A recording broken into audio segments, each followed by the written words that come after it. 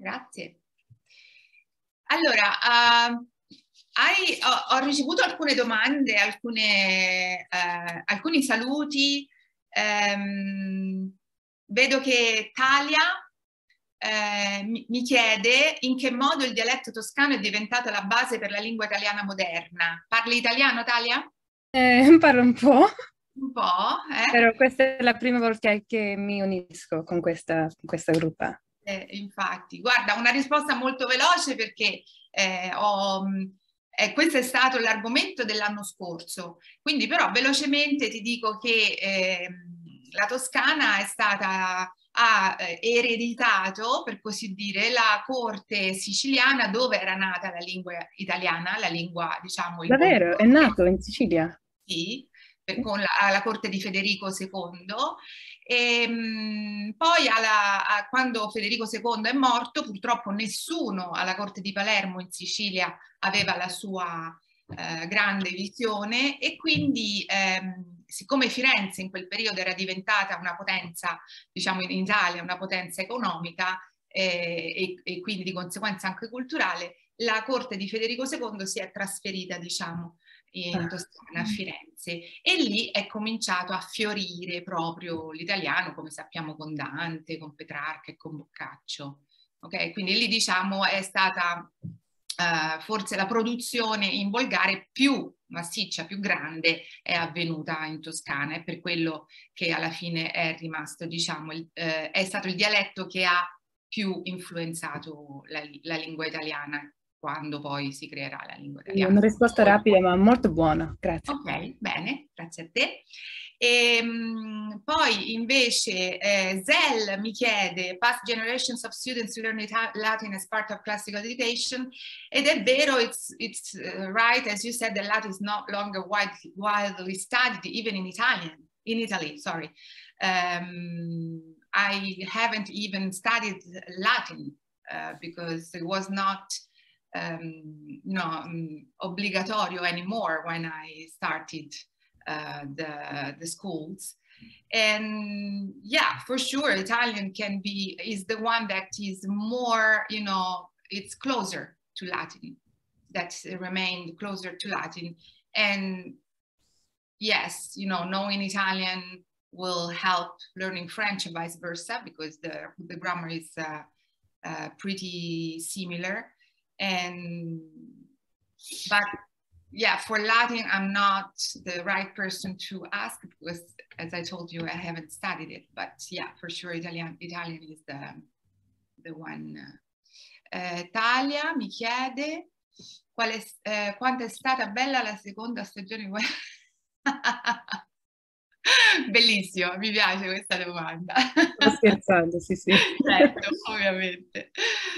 Bene, allora ragazzi, um, okay, first of all, um, I'm gonna, I don't know if you, I know that you like that I speak Italian, but of course I'm, uh, I'm ready to, uh, you know, help with English if it's, uh, if it's, uh, you know, if you need it, because it's important that we all understand what we say. Uh, and, and, exactly the, the topic of this um, meeting today is about the importance of uh, uh, understand being understood from others, you know, and so um, so just let me know if you if you if we need to turn to in, into English, and uh, what else? Um, when you want to ask something, just uh, get in because I I I fear that I may not see that you're asking to, you know, to, to talk, but, you know, it's a, it's an open conversation. So you don't need to ask for permission. You can just, you know, get in and, and talk because what I'm going to talk uh, today is something for which I would like your opinion. Okay, it's something that is happening in Italy, has been happening for the last decades, but now it's particularly True. Okay, I'm going to uh, share my screen. Uh, okay. Can you see it? Okay. Okay, can you hear me well? Everything is fine? Okay, perfect. So I start in Italian and you will tell me. Allora, eh, il titolo della, del nostro incontro um, si intitola La lingua italiana, evoluzione e, corru- corruzione di un idioma accogliente, eh, perché è, una, ehm, è, un argomento che ci appassiona molto, eh, dicevo negli ultimi 10-20 anni, ma adesso è diventato particolarmente pressante.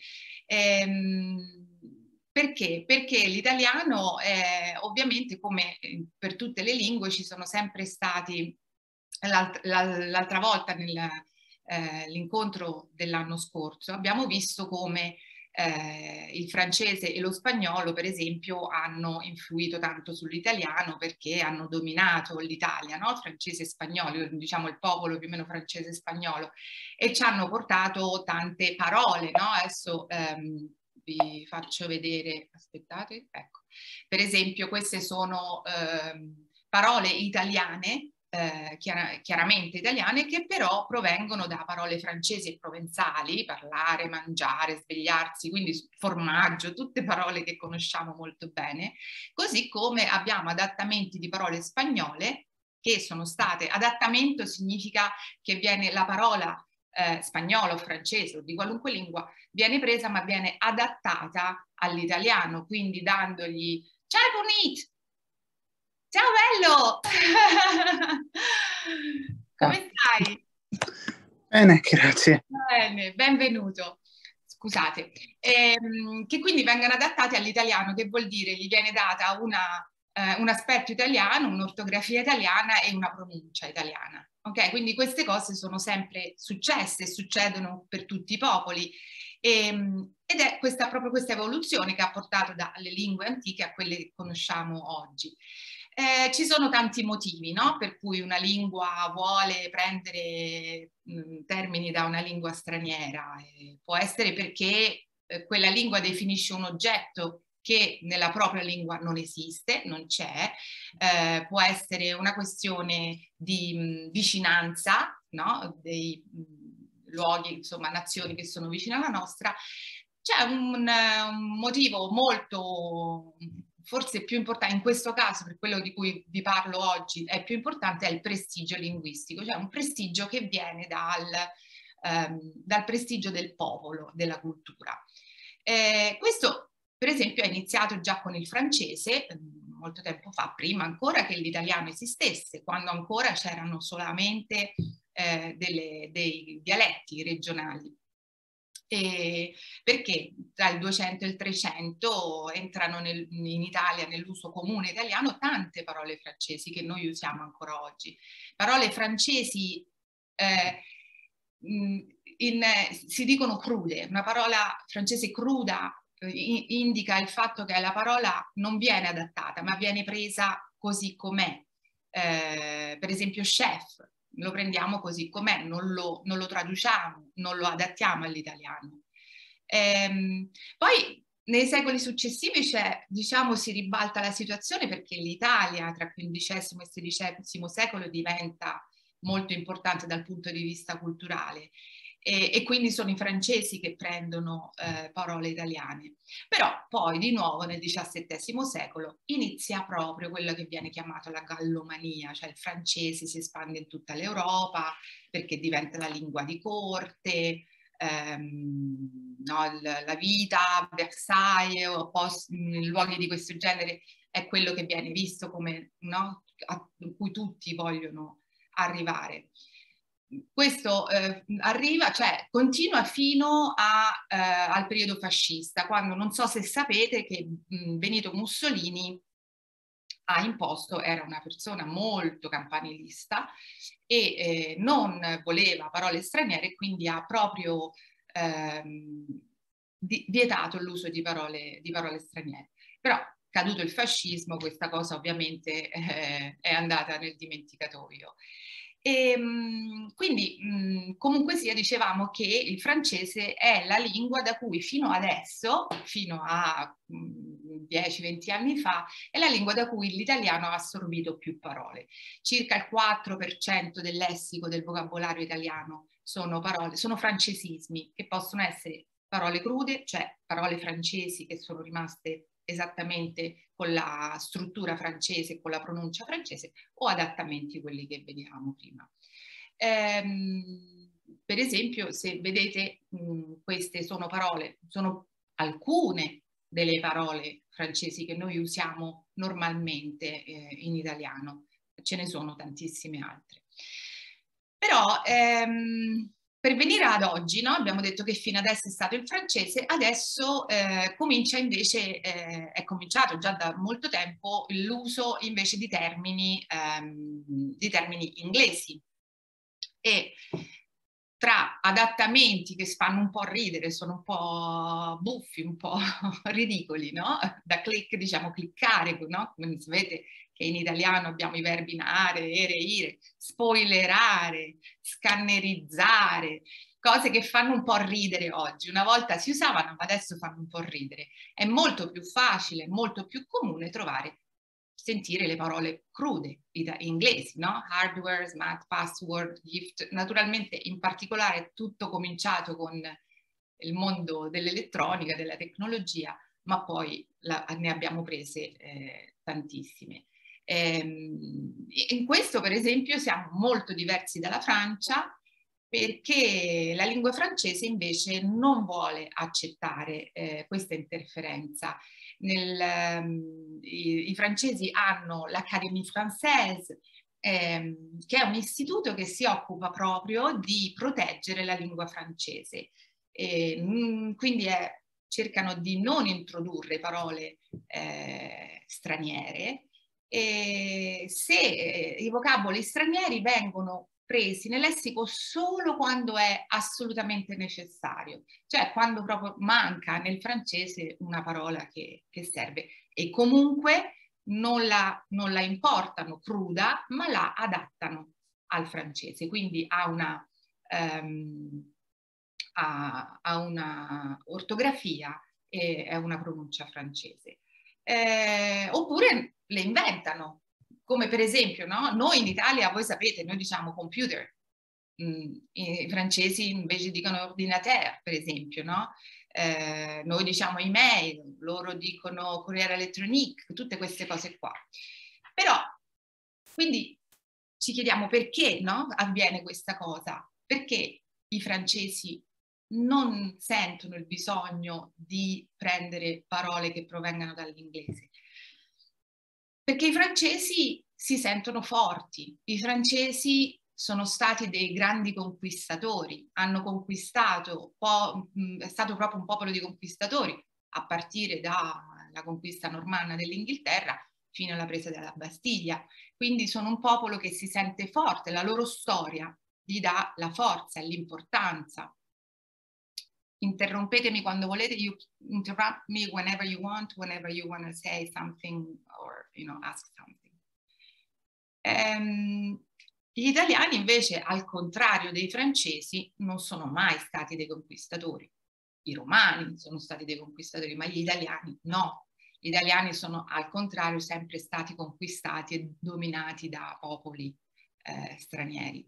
Quindi eh, il popolo italiano ha una scarsa considerazione di sé, non pensiamo bene di noi. Noi italiani non abbiamo, mh, mm, pensiamo di essere la nazione più, la nazione peggiore del mondo, ci sentiamo inferiori a tutti, se ogni volta che succede una cosa negativa diciamo questa cosa succede solo in Italia, in un altro paese non succederebbe perché gli altri paesi sono più... Ehm, eh, cioè sono più, sono più, più bravi e capaci a gestire qualunque cosa. E, ehm, che succede? Che quindi guardiamo sempre, come abbiamo fatto con la Francia all'epoca, quando la Francia era una grande potenza, guardiamo a quello che ci sembra il popolo, la nazione più forte, più prestigiosa, che eh, è diventata dallo scorso secolo e in particolare dopo la seconda guerra mondiale questo popolo che noi ammiriamo e vediamo come eh, potente, forte, moderno, soprattutto rispetto a noi, è il popolo americano. Siete voi. Sono, noi eh, abbiamo questo mito eh, della, dell'America che appunto c'è sempre stato. E, ehm, e quindi vorremmo essere come voi, ci, vi imitiamo e, e, infatti vi voglio mostrare eh, un piccolo pezzo di un vecchio film italiano degli anni 50 eh, con Alberto Sordi che era un grande attore italiano per noi che proprio, mostra proprio questa, questa tendenza no, a voler essere americani a tutti i costi, anche se non lo siamo. Allora, um, cerco un attimo da eh, vedere soltanto eh, quello che ci serve.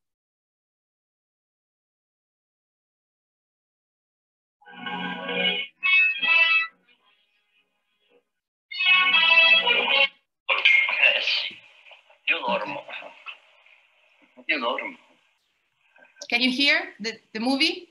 Ok. Concuglia, ma hai detto la guarda ma io li distruggo, sai. Io li distruggo a tutti. Sì, chiama Scioe. What is that? Maccheroni, maccheroni, questa roba da carettieri.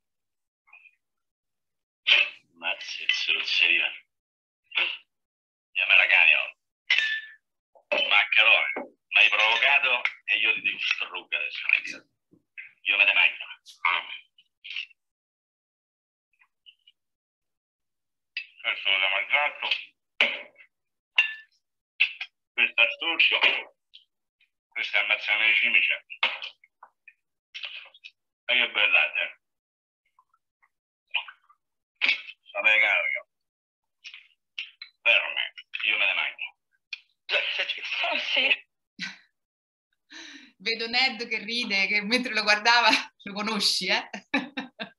Il film. E, ehm, vabbè, ovviamente questa è un'esagerazione, no? È una, un, ironico, esagerato, però eh, alla fine neanche tanto. Ci sono, c'erano, ci sono ancora tanti italiani che veramente vogliono cercare di sembrare più americani possibile. Ehm, perché, proprio perché eh, gli americani vengono visti, come dice appunto l'attore nel film, gli americani sono forti, sono invincibili eh, e sono moderni, ok? Che ehm, sono quello che eh, effettivamente secondo noi manca a noi sia come cultura sia come lingua. Nel secolo scorso abbiamo avuto adattamenti, tantissimi adattamenti dall'inglese, no? Per esempio, questi sono tutti adattamenti di parole inglesi, no? Giungla, eh, eh, la bistecca, eh, l'elfo, il drone, lo sceriffo, eccetera, eccetera. Sono tutte parole che noi abbiamo adattato la, nel, nello scorso secolo, abbiamo preso dall'americano e l'abbiamo adattato a una forma e a una pronuncia italiana. E, ehm, e, quindi fino a qui niente di nuovo, no? È quello che abbiamo visto, che abbiamo fatto anche con il francese. Eh, però, ehm, siccome comunque sia la lingua italiana viene vista, viene sentita dagli italiani come, come, come noi, noi ci sentiamo un popolo debole, vecchio e così anche la nostra lingua ci sembra debole, vecchia, eh, che non è in grado di, ehm, di tradurre, non è in grado di tradurre la, la realtà moderna, il mondo moderno, come invece eh, sa fare meglio di qualunque altra lingua l'inglese, l'americano ovviamente noi eh, mettiamo più in evidenza. Allora, e mh, mm, non, non, ci sarebbe niente di male, però ovviamente per ora, poi vi dico qual è secondo me la, il lato negativo, però fino adesso non se ne vede nessuno, eh, però quello che vi dicevo c'è in questi anni un grande dibattito sul fatto se sia giusto o no che ci siano così tante parole nella lingua italiana, eh, tante parole inglesi.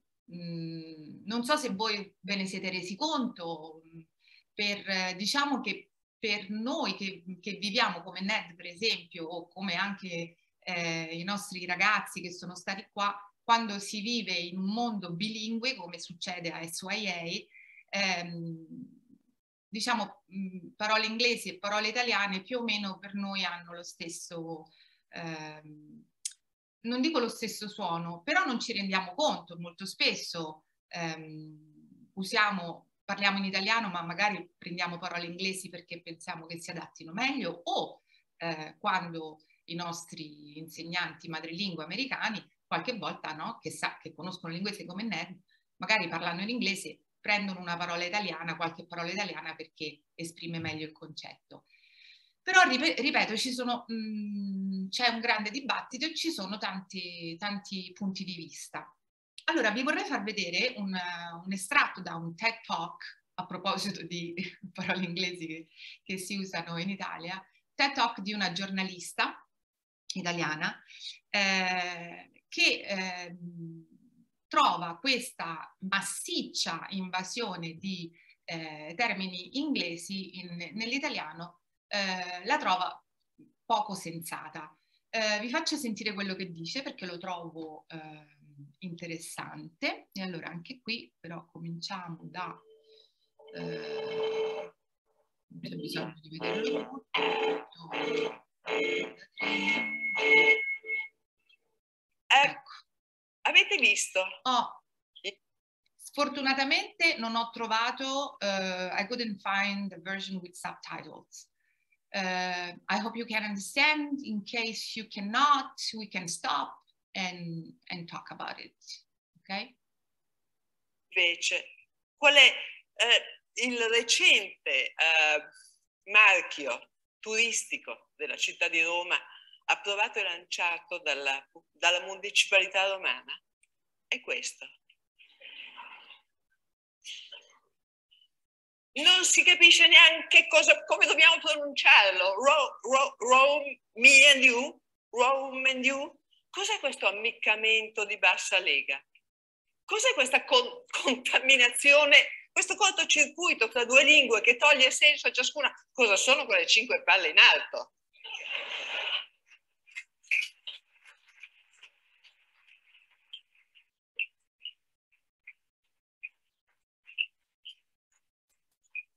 E uno si chiede, ma perché? Ma perché nel momento in cui guardiamo, se guardiamo tutti i marchi turistici di tutte le città del mondo, non c'è nessuno che faccia la cosa insensata di storpiare il suo nome per promuoversi. Da nessuna parte, solo a Roma. Ma a proposito di storpiature, vogliamo dare un'occhiata al portale turistico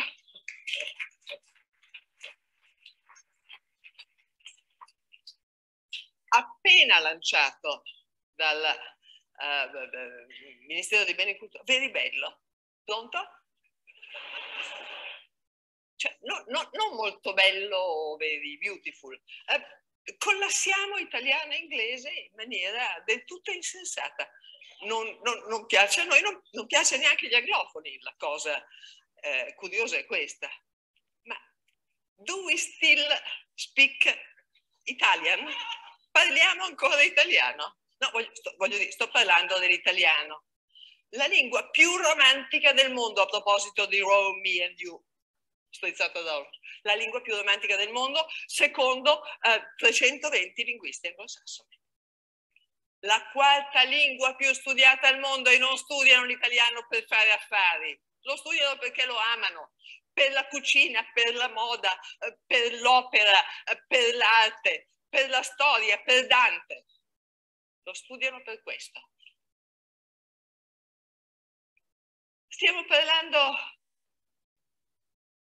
stiamo parlando della lingua degli angeli, secondo Thomas Mann. Eppure, ecco, per esempio, la pizza ha conquistato il mondo continuandosi a chiamare pizza. Mm?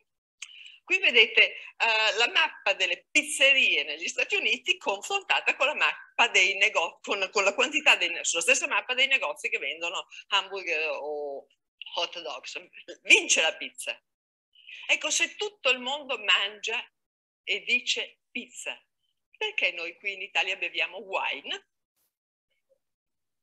Guardate qua, mangiamo food e beviamo wine a Lucca, Cernobbio, a Catania, a Milano, e la cosa è curiosa perché a New York, se al World of Astoria devono promuovere la settimana del vino italiano, dicono vino.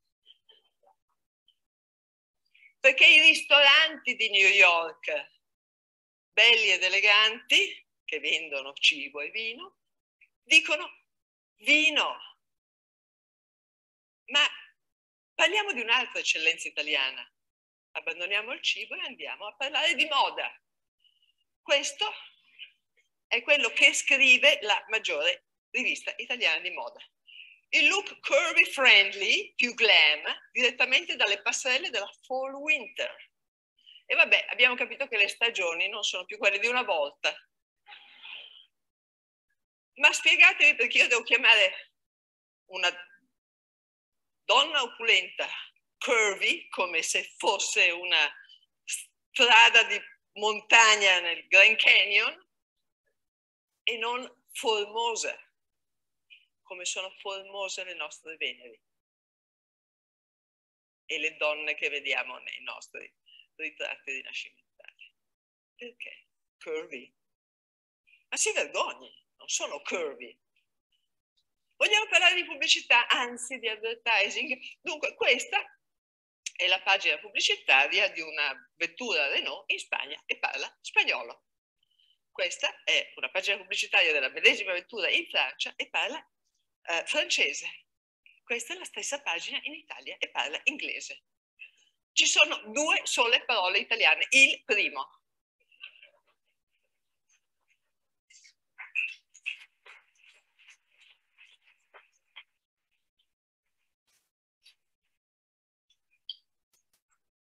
che cosa ci sta succedendo se perfino il sindacato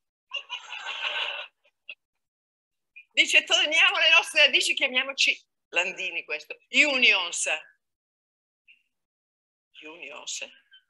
Le radici del sindacato italiano? Siamo sicuri? Ecco, la cosa è curiosa perché oltre due italiani, un italiano su due non, non, non, non spiaccica una parola d'inglese il 60% nel 2012, diciamo che sono il 58%, quindi non sappiamo l'inglese, non lo sappiamo come paese e si vede. E qui c'è da sperare che le competenze mediche del signore che ha compilato, della signora che ha compilato questo modulo della ASLA siano superiori alle competenze linguistiche. Eppure ogni giorno per pigrizia, per distrazione, per conformismo, perché ci sembra moderno, perché siamo provinciali, usiamo una quantità di parole inglesi non necessarie, non profondamente inserite nel tessuto della lingua italiana, puramente accessorie e eh, inutili. Ok, avete capito abbastanza? Could you understand more or less quello che dice? Sì, però il suo accento è più forte. Eh, sì, e poi soprattutto ha una R poco, Sì, sì. no? La R un po', un po' così. Sembra quindi quasi sì, francese. Sì, infatti.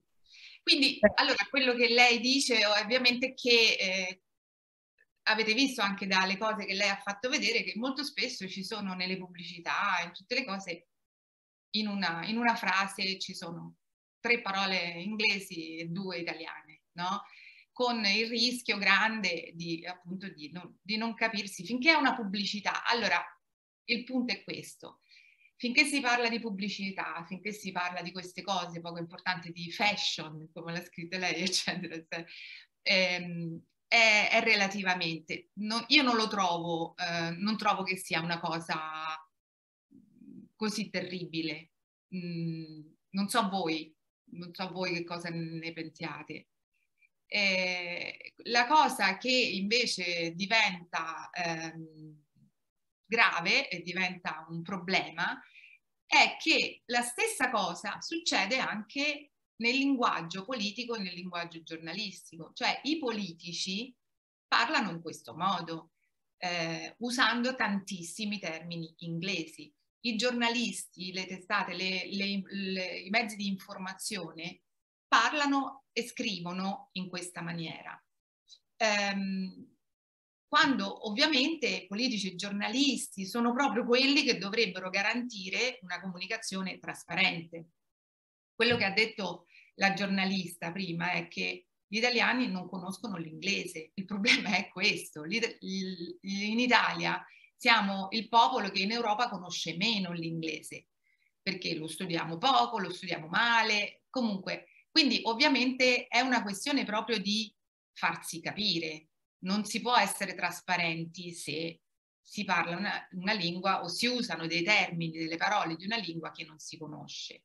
Quindi dicevo, addirittura voi potete vedere che ehm, a parte nella, nella, pubblicità, che questo è, dicevamo, anche per promuovere l'Italia, viene usato eh, l'inglese, e questa potrebbe essere una strategia giusta perché se lo vogliamo promuovere all'estero, non lo so, da parte, per esempio, dal vostro punto di vista, questa è la piattaforma per promuovere la cultura italiana e si chiama It's Art, che in italiano sicuramente si direbbe It's Art.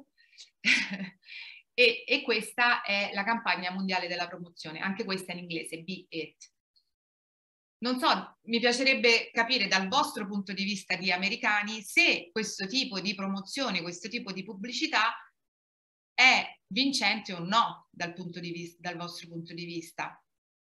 I mean, would you like, do you like the fact that we, uh, to promote Italy, we use this kind of uh, English um, words, English logos?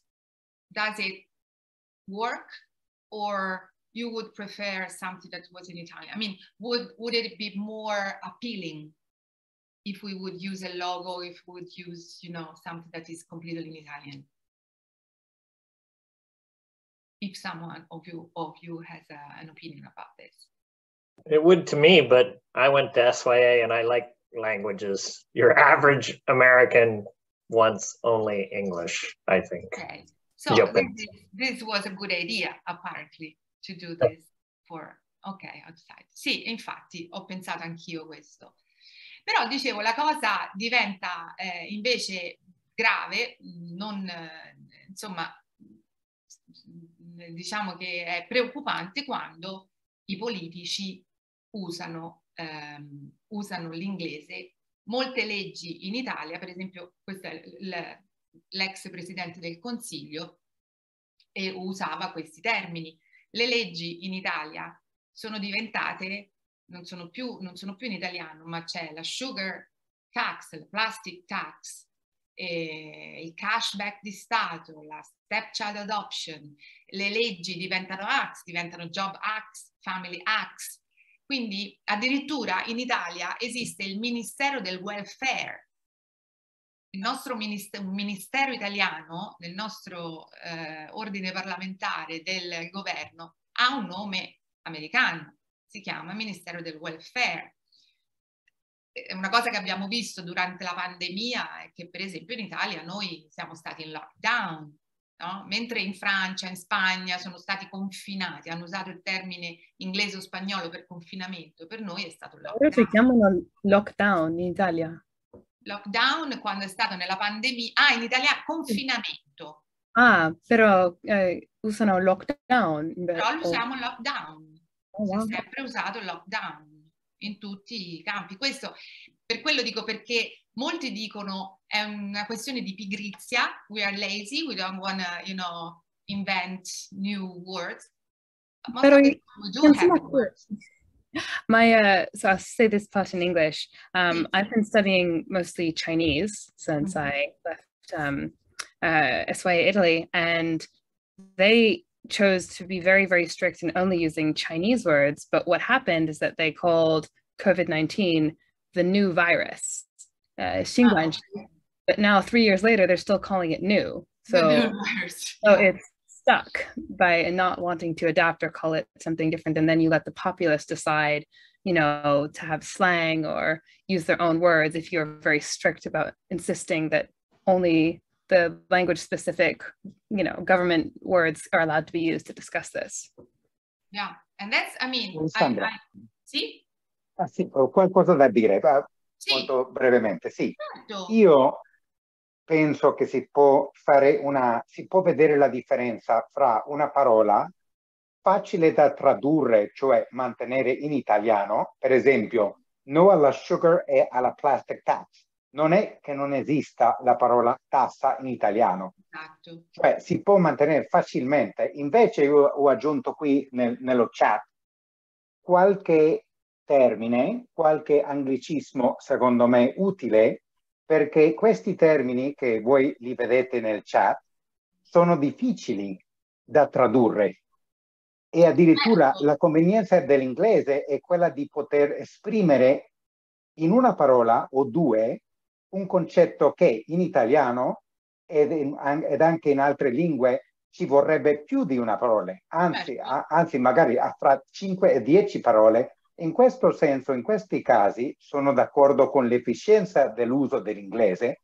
ma secondo me quando si può mantenere la parola in italiano, per esempio qui, tax, tassa, addirittura non, non è differente nel suono, sono d'accordo con mantenere cioè, l'uso della, da- della parola nella lingua originale. Invece, quando si tratta di concetti di- difficili da tradurre e, di, eh, e che, che vengono spiegati meglio nell'inglese, non, per, non a causa di un imperialismo culturale, ma perché conviene a tutti quanti l'uso di quel termine, non importa la parola, non importa la lingua da dove venga. Per esempio, ci sono certe parole in, in- in- in tedesco, eh, c'è uno, ce n'è uno che si chiama Vergangenheitsbewältigung, lo scrivo subito, che vuol dire la superazione del passato. Cioè, per dire, cioè, eh, i tedeschi lo dicono in una, in una parola, noi invece sia nell'inglese che nel- nel- nell'italiano ci vorrebbero, ci vorrebbero 4, 5, 6 parole per esprimere la stessa, lo stesso pensiero eh, di ciò che dicono gli italiani, i tedeschi in una sola parola. Eh sì, no, su quello sono completamente d'accordo. Infatti ehm, io anche sono propensa a questo perché ci sono tan- tante cose, come dici tu, che eh, ovviamente che in inglese si possono dire con una sola espressione e che oltretutto eh, hanno un significato molto preciso. Quindi ben venga, infatti. Il, il problema è che, eh, per esempio, questo però per dire, per ritornare alla Francia, no, che ha una, una, politica completamente diversa da questo, in Francia questa cosa, per esempio, non, non sarebbe permessa. Cioè un, i politici non possono eh, usare termini che non siano francesi per, ehm, per esprimere, per, per dare notizie ai cittadini e su questo sono d'accordo. E, addirittura c'è stato il, il, presidente del Consiglio nel, nel 2021 che ehm, per, ehm, mentre faceva un discorso a proposito della pandemia, a proposito del lockdown, eccetera, eccetera, stava facendo un discorso e mentre parlava si è reso conto che stava usando eh, delle parole e, e, questo è abbastanza divertente, cioè assurdo dici, si accompagna l'azione di governo perché a un certo a punto di famiglie e imprese lui parla e invito al lavoro agile per chi ha figli in didattica a distanza o in quarantena per chi svolge attività che non consentono lo smart working sarà riconosciuto l'accesso ai congedi parentali straordinari o al contributo babysitting. Chissà perché dobbiamo sempre usare tutte queste parole inglesi, questo Cioè, alla fine fa ridere, però è, è, preoccupante perché lui magari, cioè, noi lo usiamo talmente di frequente, li usiamo talmente sempre che non ci rendiamo neanche più conto di, di utilizzarle. Addirittura il Presidente del Consiglio legge un discorso e mentre lo legge si rende conto che poteva, avrebbe potuto usare delle, delle parole italiane. E, ehm, quindi il problema, quello che dicevo, sta nel, Ma... nel fatto che proprio anche i mezzi di informazione no? usano mh, parole eh, inglesi. Vedete, in tutti i nostri titoli, in tutti i nostri giornali ci sono eh, tantissime parole inglesi. Addirittura ci inventiamo delle espressioni che neanche esistono in inglese in realtà, eh, per, proprio perché non conosciamo l'inglese e quindi non sappiamo, non capiamo bene quello che, che vediamo e, che, e che, di cui ci rendiamo conto.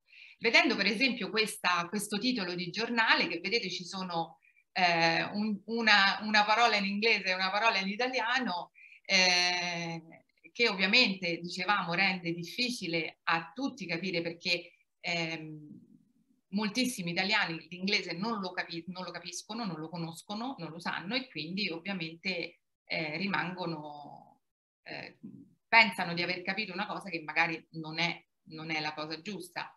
Qui proprio in questo che dici, dopo il grande successo del sold out, eh, c'è una cosa divertente, ma anche qui insomma che ci fa capire, in cui in una chat di WhatsApp una persona chiede ciao è possibile prenotare un tavolo per 5 per stasera? Quindi sta scrivendo a un ristorante.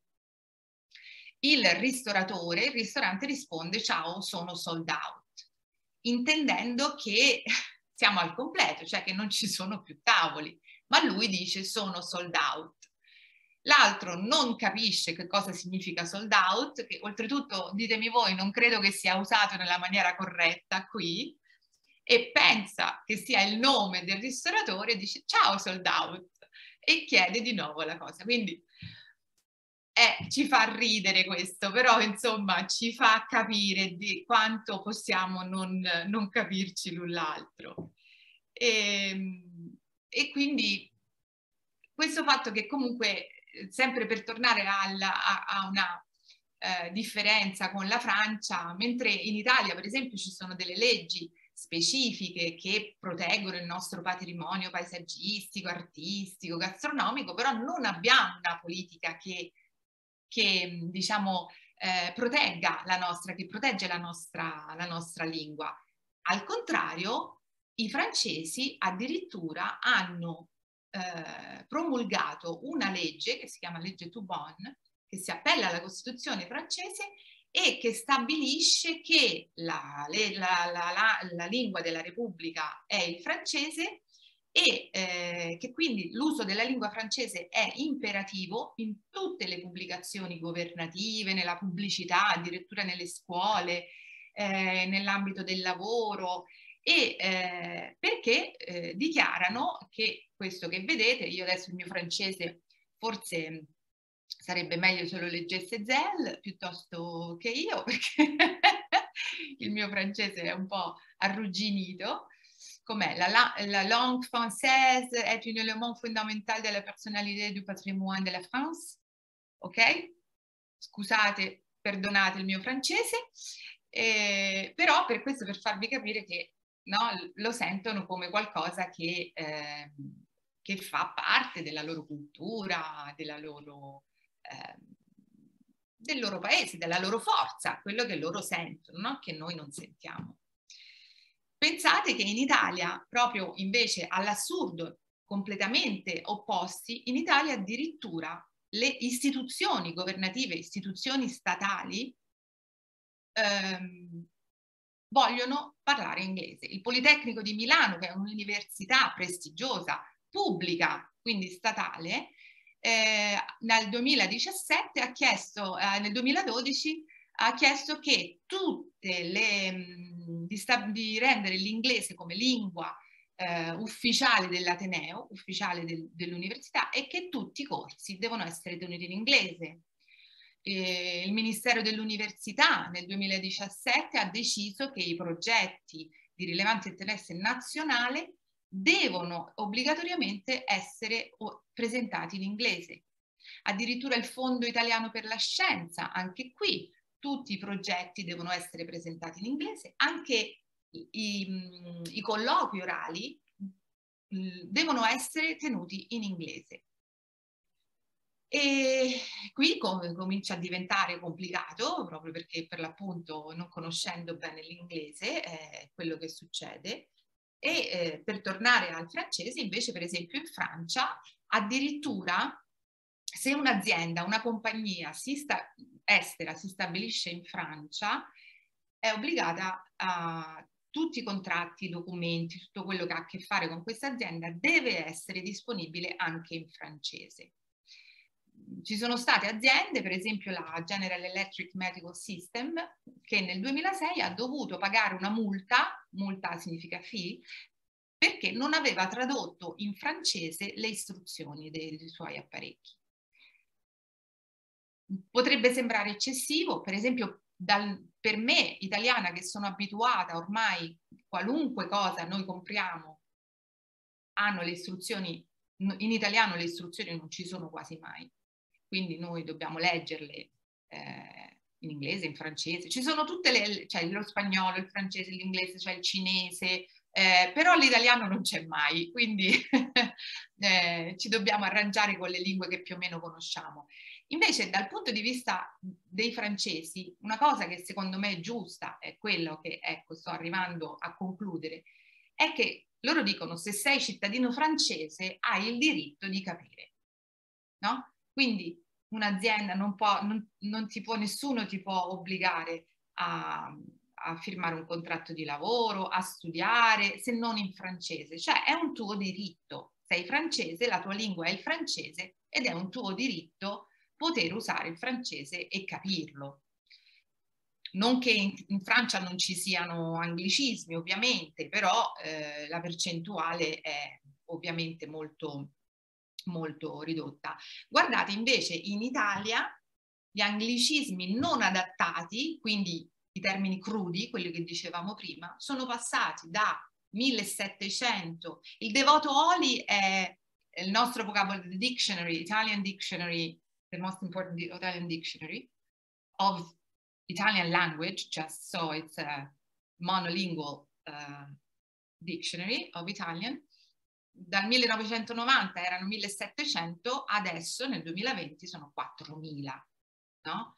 E guardate questo, sempre eh, ne, noi nei, nel nostro dizionario, in our dictionary, noi ci sono anche parole inglesi, ci sono anche parole straniere e negli anni 40-50 erano il 3,6, adesso i neologismi per il 50% sono inglesi sono parole inglesi.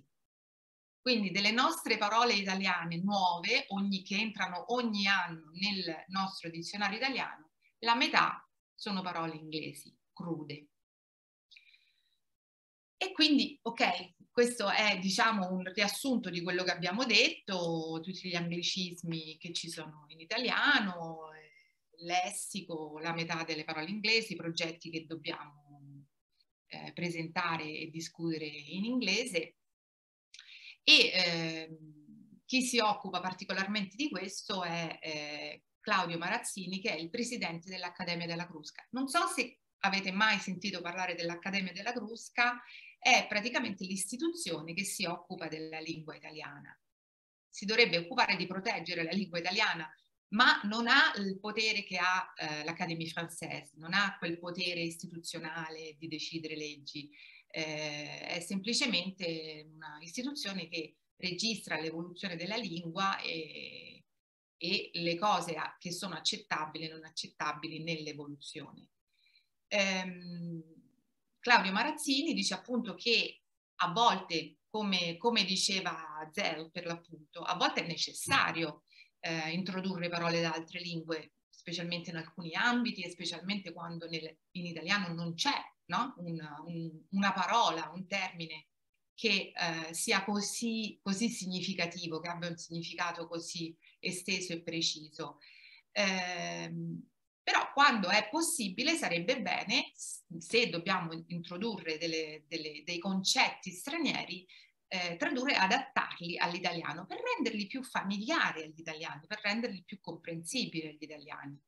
Perché secondo lui, lui ha condensato in quattro punti i rischi che si corrono se, eh, se importiamo troppe parole straniere. Ovviamente non conoscere bene il significato della parola e quindi non si sa quello che si dice, appunto perché non, non si conosce bene, non saperla pronunciare, quindi anche una persona che conosce, mettiamo, noi non sappiamo pronunciare la parola in inglese, una parola che una persona che conosce l'inglese non la capisce, non saperla scrivere ovviamente e quindi ovviamente non, anche lì non, non riuscire a farsi capire. Quindi alla fine non riusciamo a farci capire da un numero sufficientemente alto di persone, nel senso che ovviamente la lingua dovrebbe servire a farci capire il più possibile. E, e quindi ecco, la, la, conclusione qual è? Che ehm, capire il mondo circostante, capire quello che succede, ehm, specialmente nel, nella politica di un paese, specialmente nelle notizie che dobbiamo, che è bene che conosciamo, dovrebbe essere un diritto per tutti. Quindi anche se è molto importante conoscere l'inglese, non è non è forse morale obbligare tutti a capirle. Quindi la conclusione qui è adoperare le parole italiane aiuta a farsi capire, è un fatto di trasparenza e di democrazia. Logico, questo si, si, capi, si capisce. E, oltretutto, come sostengono in Francia, in questo caso è giusto, se tutti cominciamo, tutti i paesi cominciano ad usare le stesse parole, può essere una cosa positiva perché ci aiuta a, a comunicare, però avremmo un mondo meno ricco, no? dominato da una sola lingua e da una sola cultura. Quindi diciamo che l'italiano, in questo caso diciamo l'italiano è la forma eh, del nostro pensiero e della nostra creatività. Quindi usare troppo e tutti quanti mh, mm, le parole di, di, una stessa cultura potrebbe eh, appiattire la creatività linguistica. Ovviamente non solo, qui parlo dell'italiano, ma per qualunque lingua, ovviamente la lingua del proprio popolo dà forma al pensiero del, del popolo.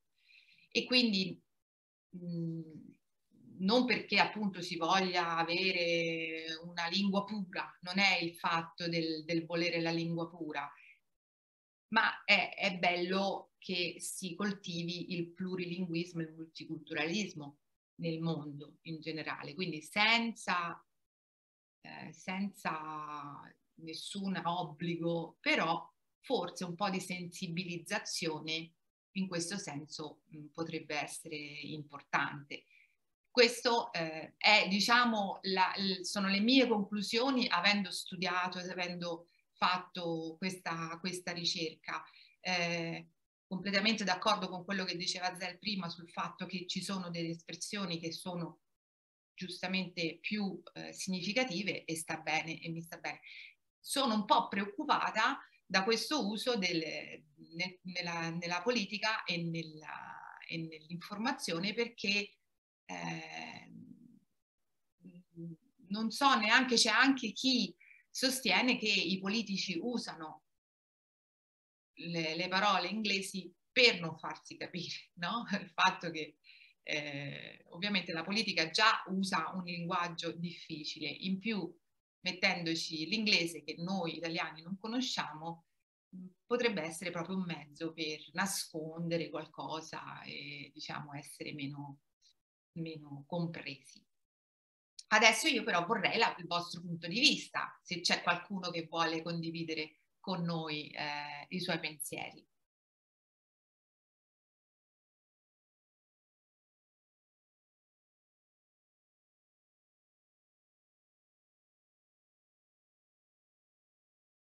due esempi dell'uso dello spagnolo anche dai nostri politici. Sto mm. pensando a due, due espressioni usate da, dal presidente, un, un, un'espressione usata dal presidente George W. Bush, mm. mano a mano, ed anche un'espressione usata dal presidente Trump, bad hombres, e nel caso dei nostri politici mi sembra che usino certe parole in, in un'altra lingua per enfatizzare il messaggio, non è tanto per l'amore della lingua straniera, anzi eh, lo stesso presidente Bush ha criticato il fratello del presidente George W. Bush, Jeb Bush, quando, parlava, quando Jeb Bush parlava, qual, eh, pronunciava qualche frase durante un dibattito uh, presidenziale.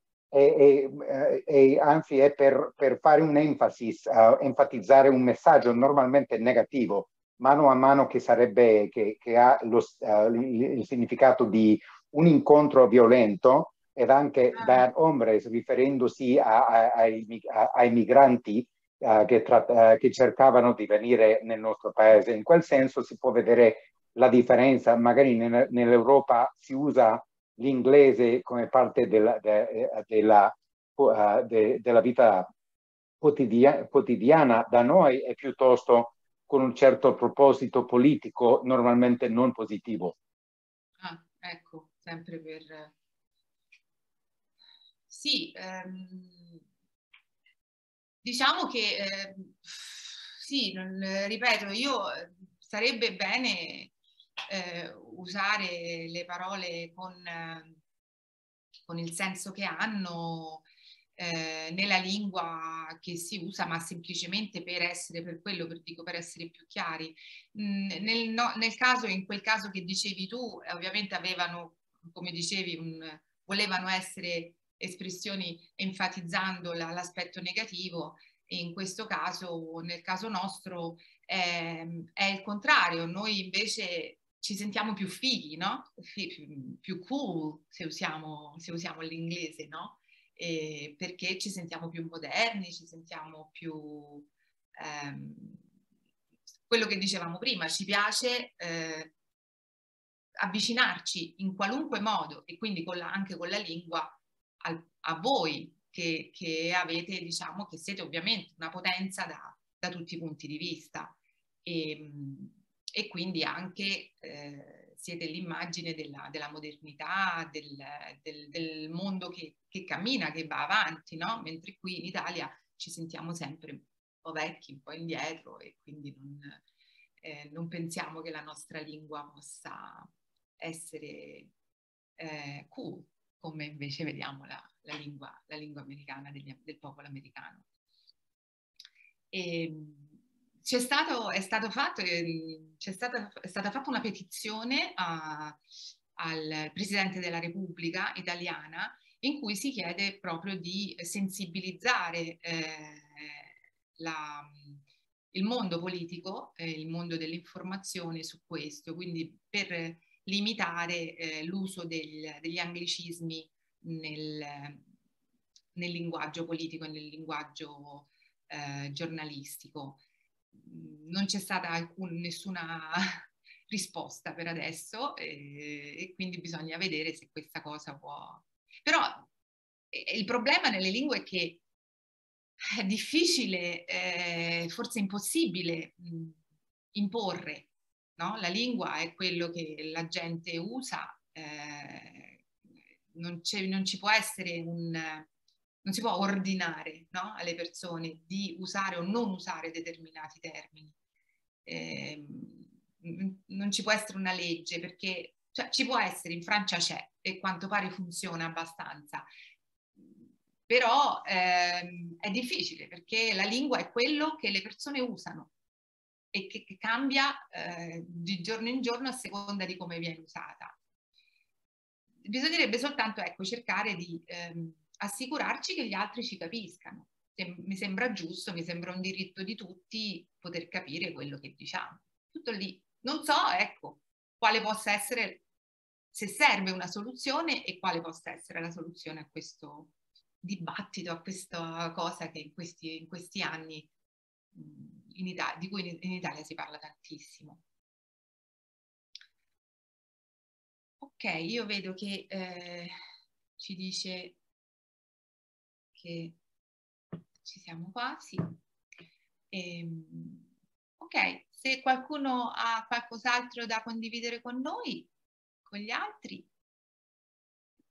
Alessandra, volevo solo dire, eh, trovo molto interessante tutto questo discorso, Sì, ehm, soprattutto eh, il fatto che non avevo mai pensato a questa mentalità degli italiani di vedere la, la lingua italiana, ehm, cioè all'antica e cercare di, di modernizzare aggiungendo queste parole in inglese.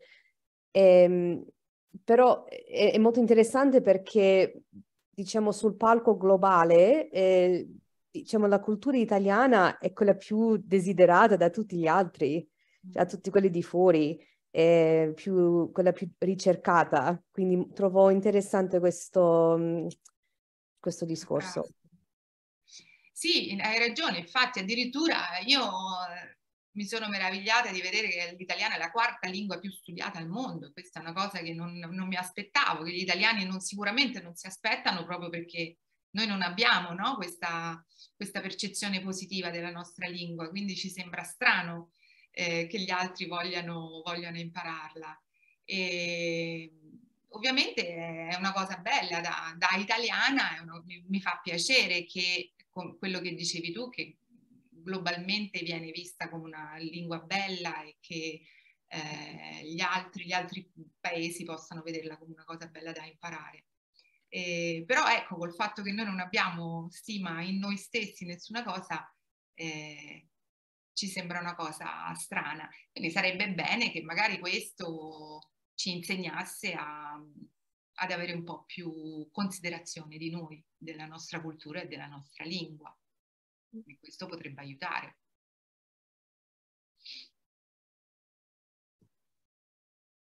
Ok. Sarah Kate, che, dove vivi tu? Vivi in Italia o negli Stati Uniti? No, sono nel Tennessee, negli Stati ah, Uniti. Sì. Ok, quindi vivete lì. Siete, Ci sono pochissimi italiani qua, però quest'anno abbiamo trovato alcuni nuovi amici, uh, uh-huh. addirittura anche degli siciliani, se ci puoi credere. Uh, quindi ah, mio marito si trova in buona compagnia. Ah, bene, meno male. Allora, quanti anni hanno i figli? Il nostro figlio ha quattro anni. Quattro anni, amore. E che, che parla? È bilingue, immagino. Uh, um, non esattamente. ci, stiamo, ci, stiamo, lavorando sopra. Eh, ok, vabbè, piccolissimo, dai, però amore. Sì. Eh, piano piano. ok. Va bene, ragazzi. Allora io vi ringrazio per avermi, ehm, per aver condiviso con me questa, eh, questa chiacchierata, per eh, aver voluto partecipare, mi ha fatto molto, molto piacere e spero che appunto chi di voi viene in Italia, come ha detto Sara Kate, come mi ha detto eh, che chi viene in Italia mi farebbe tanto piacere.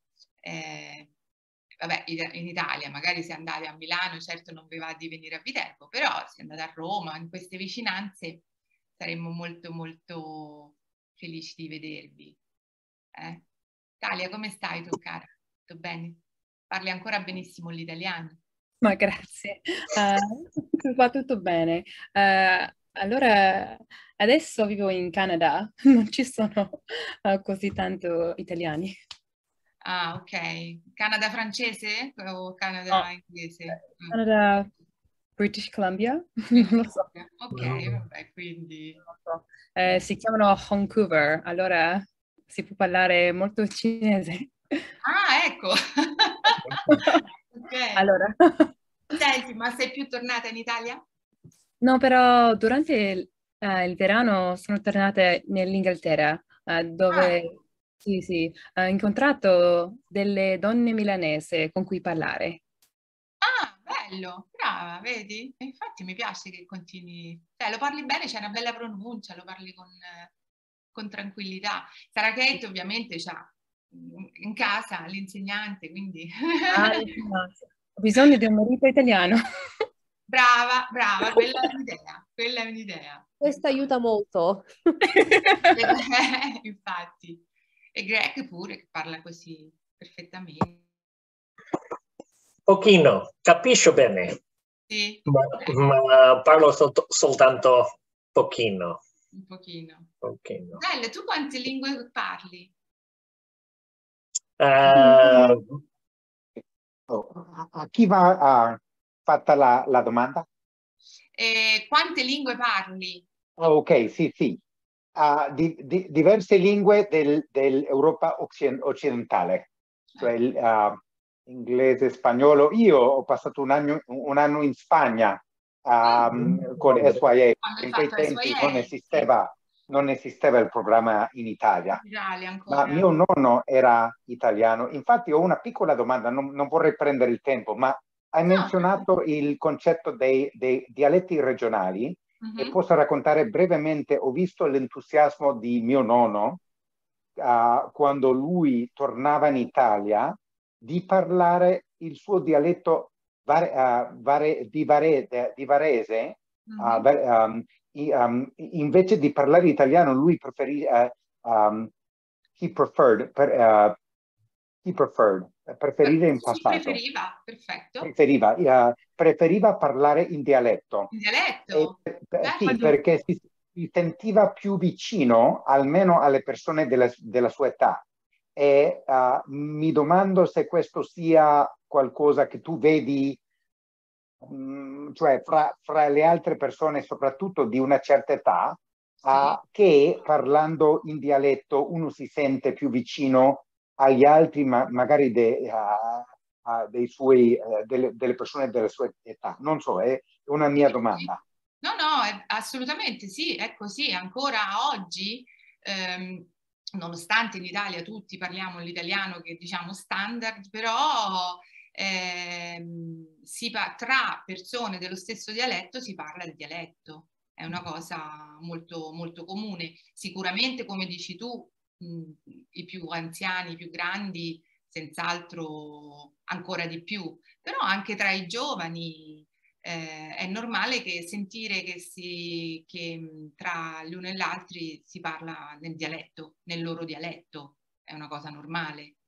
Mm, all'epoca, addirittura ai tempi magari dei nostri nonni, per l'appunto, era proprio addirittura eh, quando non c'era ancora una lingua nazionale, una lingua che è unica, eh, non ci si capiva tra dialetto e dialetto, cioè nel, chi parlava un dialetto, magari parese come dici tu, non capiva chi parlava il napoletano e viceversa, addirittura c'erano a quei tempi i traduttori, gli interpreti tra un dialetto e l'altro. Quindi adesso ovviamente, ed è ancora vero che non si capisce, cioè se due persone, se due napoletani parlano napoletano tra di loro, io capisco poco. Non si può. Non si può. Mi è sembrato che quando lui parlava con le persone del suo, ah, del suo piccolo paese era per avere il sentimento, la sensazione che sei uno di noi.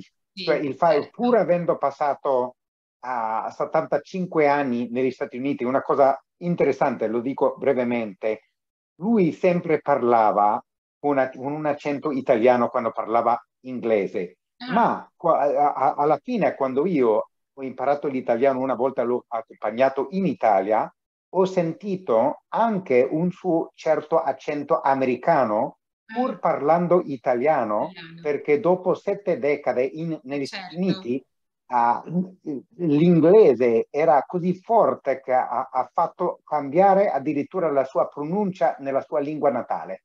Eh sì. Eh, loro agio, no? Come? Per metterli a loro agio a parlare. Eh certo, eh sì. certo. Infatti, Ma... come dici tu, ti senti meglio. La stessa cosa succede con mio marito adesso, perché quando parla inglese qua a casa si sente molto forte l'accento italiano, però mm-hmm. eh, quando adesso torniamo in Italia, eh, lui parla in italiano, parla un, un po' con l'accento americano e vedo pure che mh, mm, lo vedo un po' crollare perché le persone dicono ma di, di dove sei? E lui dice ma io sono italiano. si sente un po' fuori posto in tutti e due i eh, posti ormai. Vedi? Allora, quello che e... dice, ehm non si sente più. Esatto, esatto, però vedo pure che con questi nuovi amici siciliani che abbiamo trovato qua nel Tennessee, quando loro tre si mettono insieme parlano sempre in dialetto, sempre in ah, siciliano. Ecco. Sempre in siciliano. Eh, io è una cosa diversa, ma lo vedo tanto quando, diciamo, penso di parlare in italiano con mio figlio, Mm. non mi viene naturale, cioè mi- non riesco ad esprimermi come vorrei nella mia madrelingua inglese e quindi mi viene difficile parlare in italiano con lui, però Sì. penso proprio che si sceglie la lingua in cui parli a secondo come ti vuoi esprimere, cioè come, come ti viene meglio, È più vero. naturale. È vero, ma infatti per questo alla fine mischiarle le lingue per questo è, Sì, eh, molte esatto. volte è utile, no? Ed è efficace. Eh, Io penso che ci sono certe espressioni, probabilmente voi siete d'accordo, dove l'espressione in italiano spiega molto meglio il concetto di ciò che si potrebbe Sì. fare in inglese. Vi do qualche esempio. La risposta che si dà ascoltando qualcosa in specifico e uno risponde ma per forza o ci mancherebbe, ci mancherebbe altro. Questo viene, è difficile da tradurre all'inglese, ma ah, c'entra perfettamente nel momento in cui si pronuncia quella frase ed è molto difficile, secondo me, spiegare anche ad un americano, pur essendo americano, cosa vuol dire esattamente quell'espressione che uno ha pronunciato. È vero, è vero. E io infatti, per esempio, insegnando italiano ai ragazzi di SYA, molto spesso, eh, come dici tu, proprio questo tipo di espressioni eh, è difficile spiegarle, bisogna fare tantissimi esempi per eh, riuscire ad avvicinarsi a, a quello che appunto si può, si può esprimere con quella... Però eh, ovviamente il, il bello, diciamo, di fare SYA come hai fatto tu in Spagna all'epoca è che vivi nel- nella, nella- nella cultura e nella lingua e quindi con le famiglie, eccetera, e piano piano queste espressioni si imparano perché si sentono usate, si capisce quando vengono, quando si usano, in quale situazione, ma insegnarle così to court è proprio difficile, insomma, è una cosa che non, non- difficile eh, che ci si riesca. È parte anche quello della cultura, insomma. Bene. Che bello, mi piace questa chiacchierata, mi piace molto. Ok, vi Bene. lascio magari, eh, perché è un po' tardi, penso. Eh, abbiamo fatto... Eh, molto efficiente e ti ringrazio il fatto di averlo dato in italiano, il 95, il 99% in italiano, perché così ha reso il tempo molto efficiente per noi che amiamo, amiamo la lingua italiana, ma ci manca il contatto con, con la lingua. Eh, perfetto, ne sono felice, ne sono davvero felice. Grazie cari, grazie mille, spero di vedervi presto in qualche modo, ehm, o di persona oppure così di nuovo quando facciamo le, qualche altra riunione. Ok? Ti ringraziamo. Grazie Grazie Alessandra, ciao. Ciao.